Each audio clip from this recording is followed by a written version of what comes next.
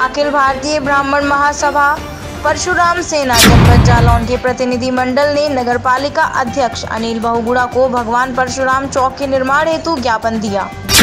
जिसमें भगवान परशुराम के गुण एवं प्रेरणादायी व्यक्तित्व को स्थायी स्वरूप को कायम रखने के लिए शहर के किसी चौराहे का भगवान परशुराम के नाम पर नामकरण किया जाए।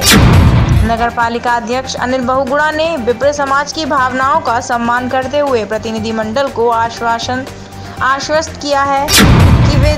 अगली बोर्ड की बैठक में इस मांग को मूर्त रूप देने हेतु प्रस्ताव डालकर शीघ्र ही भगवान परशुराम के नाम पर शहर में चौराहे का नामकरण कराया जाएगा।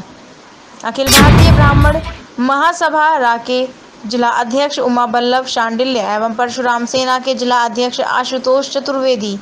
महासभा के संरक्षक राजीव नारायण मिश्रा, जिला संयोजक परशुराम सेना, अनुराग दुबे बंगरा, महेश द्विवेदी, सर जयशंकर द्विवेदी सभासद, राजू पाठक कालपी, महामंत्री सौरभ दुबे केथरी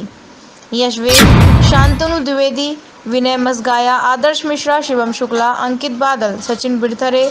कपिल, रवि, ऋतिक, दीपक, अमित त्रिपाठी, हिम्मू महाराज, शैलेंद्र व्यास शिवम तिवारी आदि ब्राह्मण समाज के प्रतिनिधि मंडल में शामिल रहे।